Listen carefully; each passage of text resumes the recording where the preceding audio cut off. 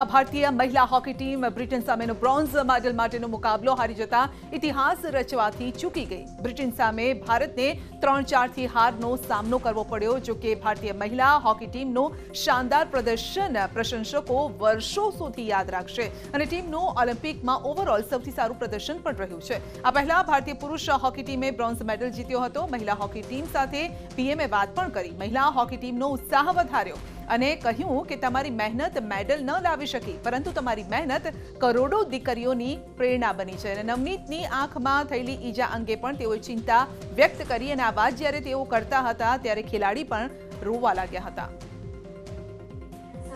नमस्कार सर हाँ जी नमस्कार सर नमस्ते नमस्ते देखिए आप सब लोग बहुत बढ़िया खेले हैं आपने इतना पसीना सब कुछ छोड़ छाड़ करके आप इसी में एक साधना कर रहे थे आपका पसीना बदल नहीं आ सका लेकिन आपका पसीना आज देश की करोड़ों बेटियों की प्रेरणा बन गया है હવામાન વિભાગે આપ્યા છે ખેડૂતોની ચિંતા વધારતા સમાચાર પંદર ઓગસ્ટ સુધી રાજ્યમાં વરસાદની કોઈ જ શક્યતા નથી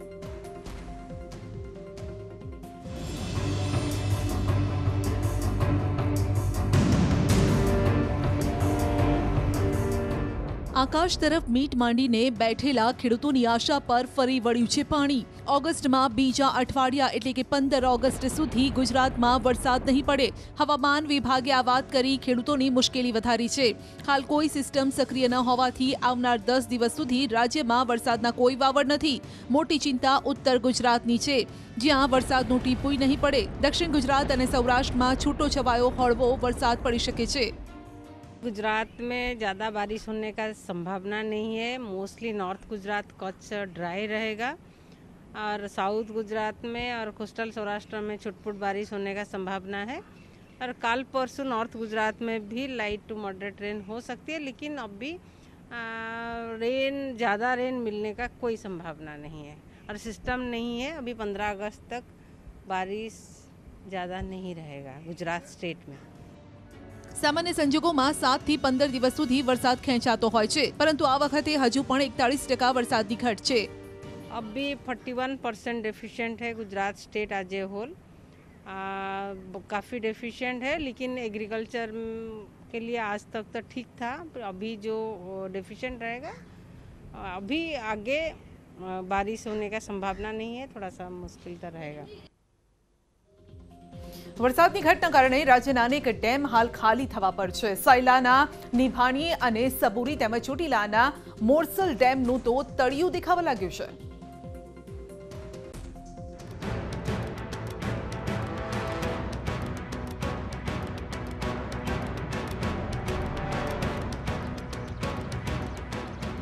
રાજ્યમાં હાલ એકતાળીસ ટકા વરસાદની ઘટ નોંધાઈ છે.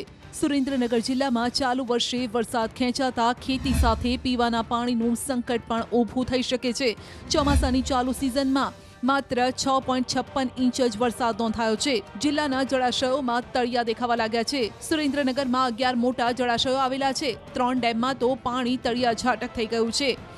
સાયલા તાલુકાના નીંભણી અને સબુરી ડેમ, ચોટીલાના મોરસલ ડેમ ખાલી ખમ છે. અન્ય જળાશયોની સ્થિતિ પણ ચિંતાજનક છે. આગામી ટૂંક સમયમાં જો જિલ્લામાં પૂરતો વરસાદ નહીં થાય, તો જળ સંકટ ઊભું થશે. ખેડાના હાલ પણ કંઈક આવા જ છે. માતર તાલુકો, આણંદના તારાપુર, ખંભાત તાલુકાના કુલ પચીસ ગામના ડાંગર પકવતા ખેડૂતોએ પાણીની માંગ કરી છે. હમણાં કોઈ પણ રીતે ઉકેલ આપો, જો ઉકેલ આપવામાં નહીં આવે, તો અમે ચાર દિવસની મહેનત આપીએ છીએ. ચાર દિવસ પછી અમે ગાંધીનગર જવાના અને ગાંધી ચીંધ્યા માર્ગે ઉપવાસ ઉપર આંદોલન ઉપર ઉતરવાના અને તેથી પણ ન માનવામાં આવે તો કદાચ આત્મવિલોપન કરવાની પણ અમારી તૈયારી છે.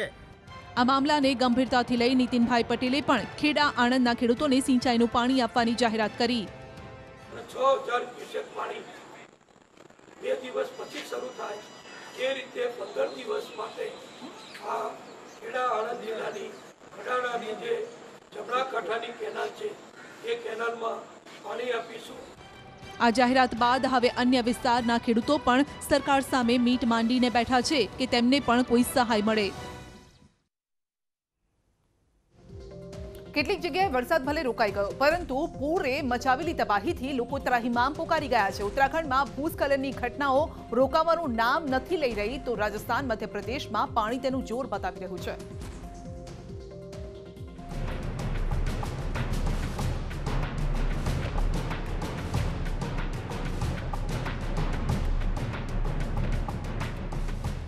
ઉત્તરાખંડથી સામે આવતી તસવીરો લોકોને ડરાવી રહી છે. રુદ્રપ્રયાગમાં રસ્તાઓ પર સતત ભૂસ્ખલન થઈ રહ્યું છે, જેના કારણે રસ્તાઓમાં ટ્રાફિક જોખમી બની ગયો છે.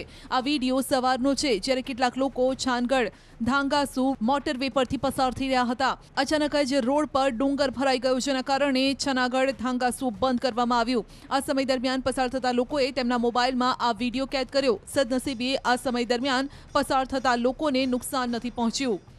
બીજી તરફ એમપીમાં ભારે વરસાદ યથાવત છે. છત પરથી લોકોનો બચાવ થઈ રહ્યો છે.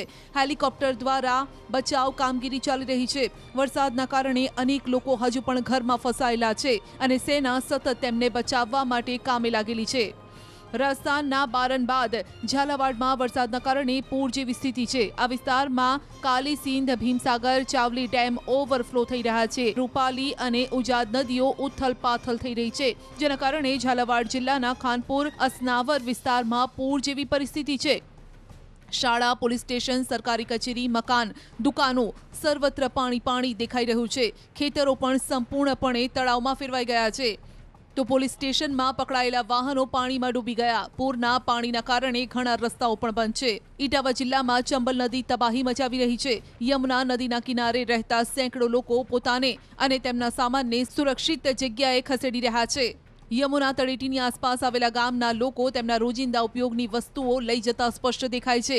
નદીના કિનારે બનેલા મંદિર પહેલાથી જ પાણીમાં ડૂબેલા છે. સરકારી કર્મચારીઓ પહોંચી શકતા નથી, પરંતુ અધિકારીઓ દાવો કરી રહ્યા છે કે સ્થિતિ સામાન્ય છે. બુલેટિનમાં આગળ વધીશું, નાનકડા બ્રેક બાદ.